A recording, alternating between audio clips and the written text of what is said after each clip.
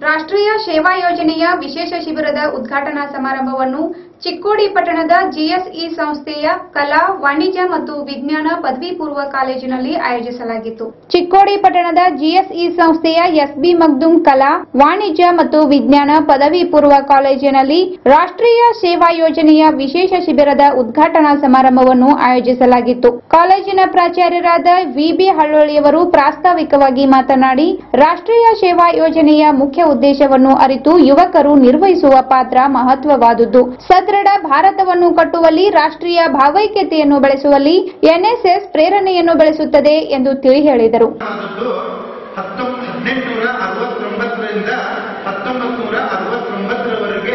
ಗಾಂಧೀಜಿಯವರು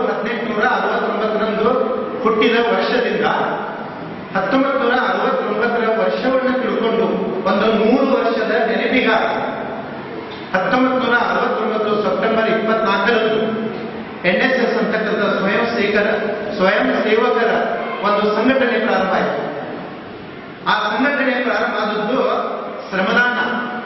ಆ ನಂತರ ಒಂದು ಸ್ವಚ್ಛತೆ, ಸಂರಕ್ಷಣೆ ಇವೆಲ್ಲ ದೇಶಗಳನ್ನು ಇಟ್ಕೊಂಡು ಈ ಯುವಕರಿಗೆ, ಯುವಕರನ್ನ ಸರಿಯಾಗಿ ಸದುಪಯೋಗ ಮಾಡ್ಕೊಳ್ಬೇಕು ಕೆಲಸ ಒಂದು ನಿಟ್ಟಿನಲ್ಲಿ ಈ ಎನ್ ಎಸ್ ಎಸ್ ಕಾರ್ಯಕ್ರಮಕ್ಕೆ ಪ್ರಾರಂಭ ಆಯಿತು. ಆದರೆ ಇದು ಪ್ರಾರಂಭ ಆದ ತಕ್ಷಣ ನಂತರ ಇಲ್ಲಿ ಏನಂದ್ರೆ ಯುವಕರ ಸಂಘಟನೆ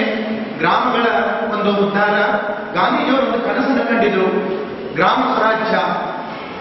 ಆ ಗ್ರಾಮ ಸ್ವರಾಜ್ಯದ ಕನಸನ್ನ ನನಸ ಮಾಡೋದಕ್ಕೋಸ್ಕರವಾಗಿ ಈ ಯುವಕರಿಗೆ ಒಂದು ಪ್ರಚೋದನೆ ಅಥವಾ ಯುವಕರಲ್ಲಿ ಒಂದು ಒಳ್ಳೆಯ ಹವ್ಯಾಸವನ್ನು ಬೆಳೆಸಬೇಕು ಅಂತಕ್ಕಂಥ ನಿಟ್ಟಿನಲ್ಲಿ ಹತ್ತೊಂಬತ್ತು ನೂರ ಅರವತ್ತೊಂಬತ್ತು ಸೆಪ್ಟೆಂಬರ್ ಇಪ್ಪತ್ನಾಲ್ಕರಂದು ಪ್ರಾರಂಭ ಆಯಿತು.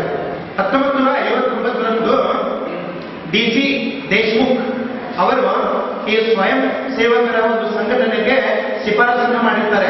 ಆ ಶಿಫಾರಸದ ಆಧಾರದ ಮೇಲೆ ಇದು ಪ್ರಾರಂಭ ಆಯಿತು. ಪ್ರಾರಂಭ ಆದ ತಕ್ಷಣ ಇಲ್ಲಿ ಮೊದಲಿಗೆ ಎನ್ ಎಸ್ ಅಂತಕ್ಕಂಥದ್ದು ಪ್ರಾರಂಭದಲ್ಲಿ ನಲವತ್ತು ಸಾವಿರ ವಿದ್ಯಾರ್ಥಿಗಳನ್ನು ಕಾರ್ಯಕ್ರಮದ ದಿವ್ಯ ಸಾನ್ನಿಧ್ಯ ವಹಿಸಿದ್ದ ಚಿಕ್ಕೋಡಿಯ ಶ್ರೀ ಸಂಪಾದನಾ ಸ್ವಾಮೀಜಿ ಮಾತನಾಡಿ, ಎನ್ಎಸ್ಎಸ್ ಚಿಹ್ನೆಯು ಒಳಗೊಂಡ ಅರ್ಥ ಹಾಗೂ ವ್ಯಕ್ತಿಯಲ್ಲಿ ಇರಬೇಕಾದ ಸೇವಾ ಮನೋಭಾವದ ಅವಶ್ಯಕತೆ ಕುರಿತಾಗಿ ತಿಳಿಸುತ್ತಾ, ಪರಿಸರ ಸ್ವಚ್ಛವಾದರೆ ನಮ್ಮೆಲ್ಲರ ಮನಸ್ಸು ಸ್ವಚ್ಛವಾಗಿರುತ್ತದೆ ಎಂದು ಹೇಳಿದರು. ಅದರಲ್ಲಿ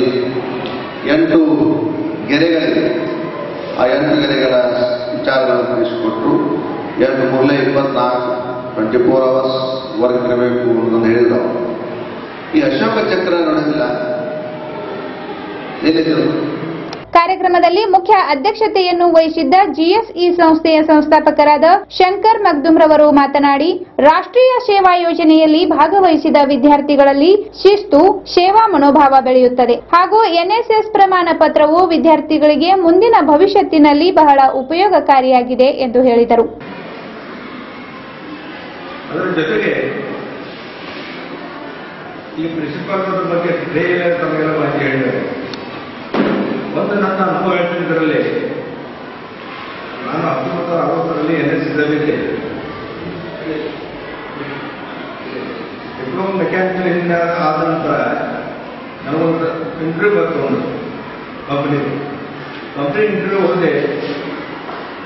ನನಗೆ ಮೂರು ಮಾರ್ಕ್ಸ್ ಕಮ್ಮಿ ಬಿದ್ದು ಈ ಸಂದರ್ಭದಲ್ಲಿ ಕಾಲೇಜಿನ ಎಲ್ಲ ಉಪನ್ಯಾಸಕರು, ರಾಷ್ಟ್ರೀಯ ಸೇವಾ ಯೋಜನಾ ಸ್ವಯಂ ಸೇವಕರು, ಕಾಲೇಜಿನ ಎಲ್ಲ ವಿದ್ಯಾರ್ಥಿಗಳು ಉಪಸ್ಥಿತರಿದ್ದರು. ಡಿಬಿ ಚೌಗ್ಲಾ ರಾಷ್ಟ್ರೀಯ ಸೇವಾ ಯೋಜನೆಯ ಗೀತೆಯನ್ನು ಪ್ರಸ್ತುತಪಡಿಸಿದರು.